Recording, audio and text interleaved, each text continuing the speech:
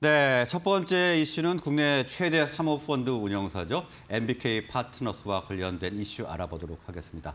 자, 지금 MBK 파트너스가 어, 굉장히 여러가 여러 어, 치과 의료기기 기업들을 인수를 하고 있습니다. 네. 자, 어떤 딜들이 오고 갔습니까?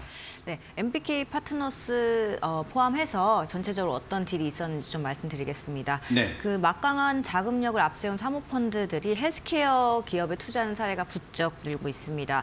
오스템 임플란트, 메디트, LG화학 진단사업, 그리고 루트로닉, SK 팜테코 등이 사모펀드 투자를 최대 2조 원대 이제 투자를 네. 받고 있습니다. 그 중에서 국내 최대 사모펀드인 MBK 파트너스의 행보가 좀 돋보입니다. MBK는 지난해 말에 국내 1위 치과용 임플란트 기업 오스템 임플란트를 어, 인수했고 올해 3월에는 구강 스캐너 기업 메디트를 인수를 했습니다.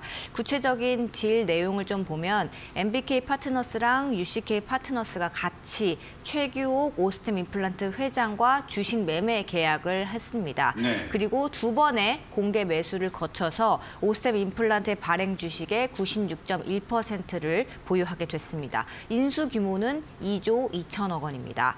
메디트 같은 경우는 MBK 파트너스 혼자서 이제 인수를 했는데 이제 지분 99.5%를 약 2조 4천억 원에 인수하는 주식 매매 계약을 체결을 했고 이제 3월 말에 인수를 위한 잔금 납입까지 마치면서 이제 인수가 완전히 끝났습니다. 네, 자 이렇게 두 기업을 합치면 벌써 5조 원이 되는데 그렇습니다. 굉장히 규모가 크네요. 자, MBK 파트너스가 어쨌든 사모펀드이기 때문에 투자금을 회수를 해야 되지 않습니까? 어떤 방식으로 지금 예정인가요? 어떻게 이제 사실 회수를 할지는 MBK 파트너스가 밝히지는 않아서 시장에 좀 이제 추측이 조금 이제 무성한 상황입니다. 그래서 제가 이제 여러 시나리오를 들어봤는데 그 중에서 이제 가장 현실성 있다고 이렇게 여겨진 시나리오가 이제 있었습니다.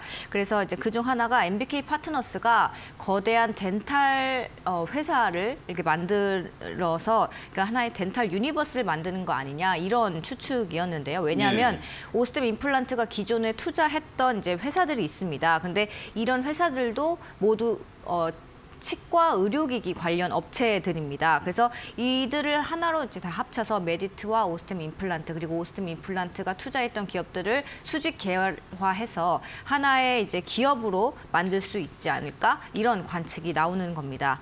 오스템 임플란트는 지난해 6월 말에 디알텍이랑 코렌텍이라는 이제 회사에 전환사채가 발행한 전환사채 사- 각각 33억 원 그리고 110억 원, 110억 원을 투자를 했었는데요. 특히 디알텍이라는 회사 같은 경우는 이제 CB 외에도 85억 원 규모 전환 우선주에 추가 투자를 했습니다. 네. 그래서 이제 디알텍에 대한 오스템 임플란트의 잠재 지분율은 12.87%인데 최대 주주 지분율이 이제 9.5%라는 걸 감안하면 전환권을 행사하면 오스템 임플란트가 디알텍 의 최대 주주가 됩니다. 그래서 네. 이 디알텍이 어떤 회사냐면 그냥 2000년에 설립된 어, 디지털 진단 영상 기업인데 대표 제품인 디지털 엑스레이 detector로 연간 900억 원 매출을 올리고 있습니다. 코렌텍이라는 회사는 인공 관절 회사입니다. 그 연 매출 규모는 640억 원 정도입니다. 그래서 최근 치과가 이제 자꾸 디지털화가 돼가면서 진단이 매우 중요해지고 있거든요. 그래서 네. 디알텍의 이런 디지털 영상 진단 기술이 이제 오스템에 꼭 필요한 상황이고 또 커렌텍의 인공 관절 뼈 이런 것도 임플란트 그 자재에 좀 필요한 제, 이제 것이다 보니까 서로 이렇게 연결이 됩니다. 예. 그래서 이제 실제로 오스템 임플란트에 물어봤더니 이들 기업과 계속해서 시너지를 모색하고 있다 이렇게 밝혔는데 아직 오스템 임플란트가 이들에 대한 지분을 정리를 하지 않은 상황이어서 앞으로 이제 일각에서는 이거, 이거 다 인수합병 되는 거 아닐까 이런 자- 가능성이 제기가 됩니다.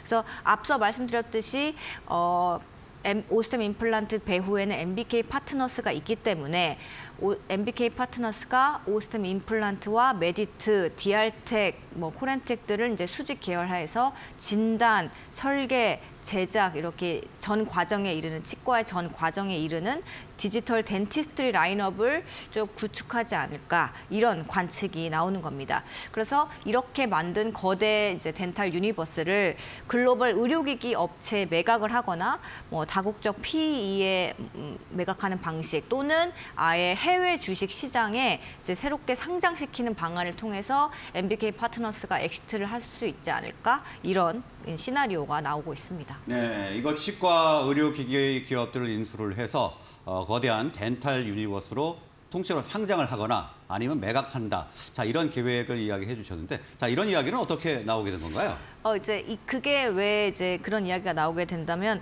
되냐면 이제 어 오스템 임플란트가 어 상장 폐지를 하고 있기 때문입니다. 네. 보통 뭐 경영권 뭐 경영권만 이렇게 조금 사서 뭐 프리미엄 얹어서 다른 곳에 팔고 뭐 이렇게 하는데 100% 지분을 샀고 상장 폐지를 지금 시키고 있거든요. 예, 그래서 여기서부터? 네네 여기서부터 이제 이제 시나리오가 또 시작이 되는 건데 물론 제가 뭐 오스템 임플란트랑 MBK 측에다가 물어봤더니 어 정확한 확답을? 네 주지는 않았습니다. 오스템 임플란트에 이제 먼저 물어보니까 뭐 티즈 치과가 디지털화가 진행되면서 정확한 진단이 중요해졌고 DR텍과 같은 진단 영상에 특화된 그런 기술을 제공하는 곳이 오- 오스템 임플란트에 필요한 상황이고 뭐 코렌텍 또한 인공뼈도 임플란트랑 밀접한 연관이 있는 건 맞다. 하지만 회사를 우리가 뭐 향후에 인수할지는 알 수 없다 이렇게 이야기했습니다. 그런데 그럼에도 이제 시나리오가 이렇게 계속 거론이 되는 건 국내 의료기기 업체들이 높은 성장성, 수익성을 좀 보장을 하는 한다는 점 그리고 오스템 임플란트를 상장 폐지시키고 있다는 점 두 가지입니다. 네. 먼저 이제 국내 업체들이 만드는 제품은 이제 해외에서도 이미 인정을 받고 있습니다. 아, 가격은 우리 기술력이 뛰어난가 보죠. 네, 의료기기 업체들의 그 제품이 특히 그렇습니다. 가격은 저렴하면서도 품질은 글로벌 기업에 뒤지지 않고 있거든요. 그래서 글로벌 진출이 상당히 용이하다는 평가가 나오고 있습니다. 실제 오스텝 임플란트 같은 경우는 지난해 국내 치과 임플란트 기업 중에서 최초로 매출액 1조 원을 달성을 했습니다. 그리고 앞으로 이제 급격한 어, 고령화로 이제 임플란트 시장은 계속해서 성장할 것으로 이제 전망이 계속 나오고 있고요. 그리고 MBK가 굳이 오스템 임플란트를 상장 세- 폐지시킨 건 이제 이러한 시나리오를 좀 이제 뒷받침해 주는데 어 오늘 그러니까 임시 임시 주총을 열어서 오스템 임플란트가 상장 폐지 안건을 결의하거든요. 그래서 네. 이제 아마 이제 통과가 될 거고 이제 안결 안건이 의결되면 회사는 한국 거래소 상장 폐지를 신청을 할 계획입니다. 그래서 이제 이렇게 상장 폐지 시키는 건 국내가 아닌 해외 시장을 좀 타깃으로 재상장 시키는 거 아닌가, 해외 매각을 하려는 거 아닌가 이런 해석이 나오고 있습니다. 음, 그- 네, 일단 뭐 해외 상장이나 해외 매각을 좀 염두에 두고 있다. 뭐 이렇게 말씀을 해 주셨는데 어, 과거에 국내에서도 비슷한 사례가 있지 않았나요? 네, 맞습니다. 비슷한 사례가 있었습니다. 네. 이제 지분 이렇게 100%를 인수한 다음에 상장 폐지를 시켜서 exit한 그런 글로벌 사례로는 글로벌 commerce 플랫폼 이베이의 옥션과 지마켓 인수 사례가 있습니다. 예. 그래서 이베이는 2001년 2월에 영국 법인 이베이 K KTA를 통해서 한국 시장에 이제 진입을 했고요. 이제 옥션 지분의 50% 가량을 처음에 1,506억 원에 인수를 했고 2003년부터는 옥션의 자, 자녀 지분을 계속 사들여서 옥션의 99.99% 주주가 됐습니다. 그리고 2009년에 1조 6천억 원을 투자해서 지마켓 지분 99%도 사들였고요. 그래서 이 과정에서 옥션과 지마켓 모두 자진 상패를 했고 그래서 200 SK베이는 2006, 2016년부터 투자금 회수에 본격적으로 나서 나섰는데 이제 뭐 대규모 그 과정에서 대규모 배당도 실시를 했고 2019년까지 이베이 코리아로부터 약 1조 원을 이제 exit 해갔습니다. 그뭐 2017년에 배당 성향은 한 406%에 달하기도 했습니다. 엄청 높기도 했습니다.